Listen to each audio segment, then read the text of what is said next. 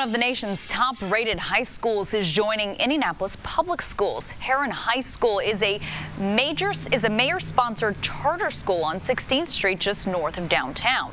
The IPS school board voted to approve Herron as among its innovation schools. Herron will give enrollment preference to families in designated neighborhoods around the school, and then a lottery will be used for any remaining spots. We are told the new partnership will not change Herron's status as an independent nonprofit.